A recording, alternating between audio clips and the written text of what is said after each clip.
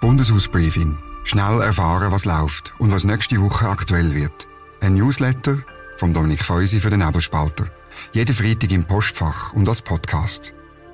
Ja, das ist Bundeshausbriefing Nummer 45 vom 8. März 2024. Da erfahren wir kurz und knapp, was nächste Woche in Bern läuft. Das ausführliche Briefing findet ihr auf nebelspalter.ch unten dran verlinkt ähm, die Möglichkeit, dass ihr es könnt abonnieren könnt. Dann können wir das einfach immer am Freitag über, weil äh, die ausführliche Fassung, die gibt es erst am Samstag, irgendwo durch ein bisschen spät, oder? Gut. Darum geht es nächste Woche in Bern. Es geht um eine Lockerung vom Umweltschutzgesetz, damit mehr gebaut werden kann. Es geht um das nächste CO2-Gesetz und wo das Gas eingespart werden kann. Es geht um Asylpolitik und Kriminalität rund um die Bundesasylzentren. Ein Problem der letzten Woche. Und dann geht es auch noch um die WHO und ihren Pandemievertrag. Das gibt's reden. Ja, diese Woche hat man in Bern vor allem darüber geredet, woher soll das Geld kommen, wo die 13. AV-Rente soll finanzieren Und da gibt es eigentlich nicht so viele Varianten. Es gibt eine Erhöhung der Lohnabzüge, das ist das, was die Initianten toll finden. Eine Erhöhung um insgesamt 0,8 Prozentpunkte. Das würde lange, das bringt die 4 Milliarden, die es braucht. Hm, das ist nicht das Geld, was es braucht, um die AV langfristig zu sanieren, aber ähm, im Moment würde es lange.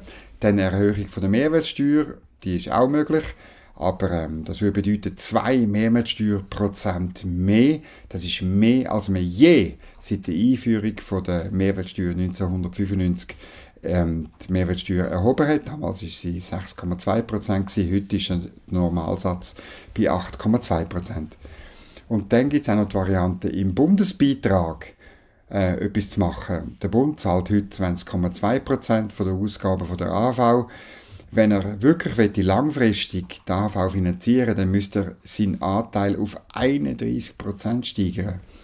Und er müsste an sich 7 Milliarden im bestehenden Bundesbudget auftreiben. Jetzt kann man sagen, ja gut, das Bundesbudget ist eh viel zu gross, da lässt sich sicher etwas bringen. Ja gut, am Schluss wird sich ein Kompromiss ergeben, da bin ich überzeugt. Und entscheidend ist, dass die Bürgerlichen hart bleiben und insbesondere beim Bundesbeitrag Sparmaßnahmen vorschlagen, wo vielleicht links-grün, wo jetzt gewonnen haben am letzten Sonntag, auch ein bisschen wehtun.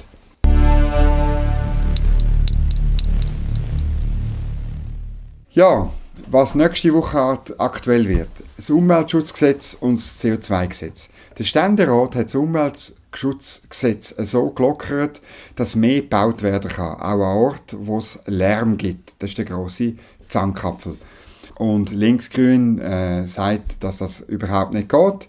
Am Schluss geht es um die Frage, ob der Staat tatsächlich das Bauen in Gebieten mit Lärm verbieten will auch wenn es Bauprojekte gäbe und Menschen, die dort gerne leben wollen.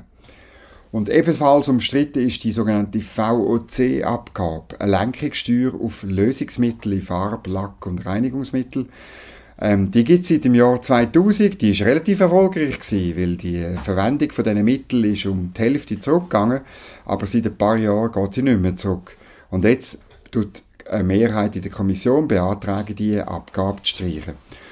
Kantonslobbyisten sind dagegen, und zwar aus einem ganz perfiden Grund, weil von dieser Abgabe kassieren sie ein bisschen etwas, um ihre Beamten zu finanzieren, und das wissen ihr alle. Das geht natürlich nicht, da müssen sie lobbyieren, dass sie weiter die Kohle überkommen. Am Mittwoch geht es um die letzten Differenzen beim CO2-Gesetz. Der Ständerat hat letzte Woche, das finden wir toll, Quoten für die Reduktion vom CO2 im Inland rausgehauen. Und auch die Reduktion der Emission bei den Neuwagen will er nicht jedes Jahr kontrollieren. Und die Förderung von Ladestationen, eine klassisch private Aufgabe, wird er nicht mit 20 Millionen Franken pro Jahr finanzieren. Und jetzt sind wir gespannt, ob der Nationalrat auf das einschwenkt oder ob er hart bleibt. Was auch noch Thema wird nächste Woche ist die Asylpolitik von Beat Jans. Am Mittwoch geht es im Ständerat um äh, letztlich die grossen Probleme, die äh, in den letzten Wochen, wahrscheinlich Monate bei den Bundesasylzentren auftaucht sind. Es geht um den Zugang zum Arbeitsmarkt, um eine Migrationspartnerschaft, um eine Kostenbremse, ganz tolles Wort, im Asylwesen, das ist die Finanzkommission, die das beantragt. Und wir sind gespannt, ob der Beat Jans die erste Debatte über seine Asylpolitik übersteht oder ob irgendetwas hängen bleibt.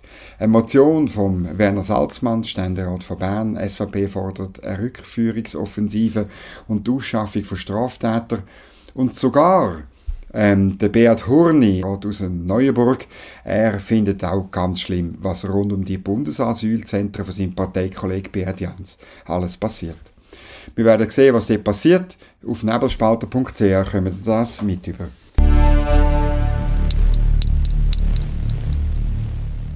Ja, auf welche Politiker ich nächste Woche achte. Einerseits auf Nationalräte von der Mitte, ob sie den Lockerungen im Umweltschutzgesetz und vor allem der Streichung von der Lenkungsabgabe, von der erfolgreichen Lenkungsabgabe, ob sie da mithelfen. In der Kommission sind sie dafür gewesen, aber die Partei mitmacht, das weiß man bei der Mitte nie so genau. Und dann, ob, sie, ob es beim CO2-Gesetz ebenfalls, ob die Mitte da wieder mitmacht, wenn es darum geht, dass man da nicht einfach dort äh, CO2 kompensiert, wo es am teuersten ist, sondern dort, wo es am meisten bringt. Dann schaue ich auf den Bundesrat Beat Jans, wie er sich in den Asyldebatten macht, und auf Bundesrätin Elisabeth Baum-Schneider, weil das nächste Woche auch noch Thema. Die WHO und äh, der Pandemievertrag, da nimmt mich Wunder, ob sie die gleiche Taktik macht wie ihre Vorgänger Alain Berset, ob sie einfach sagt, ja, ihr müsst schauen, irgendwann der, der, der Pandemievertrag, den müssen wir beurteilen, wenn es auf dem Tisch liegt, das ist alles noch nicht der Fall. So die Abwiegelungsstatistik nimmt mich Wunder, ob das sie auch macht oder ob sie ähm, vielleicht reine Wein schenkt, dass da etwas unterwegs ist mit Softlaw, wo durchaus könnte ein Problem darstellen das ist es. Bundeshausbriefing kompakt äh, als Podcast. Die ausführliche Variante, die findet ihr wie immer auf nebelspalter.ch oder ihr könnt sie abonnieren, so dass ihr sie jeden Freitag am halb drei direkt in euch Postfach überkommt. Ich wünsche eine gute Erholung übers Wochenende und dann eine liberale, freiheitliche Woche. Danke fürs Zuhören. Wir hören uns wieder am nächsten Freitag. Alles Gute.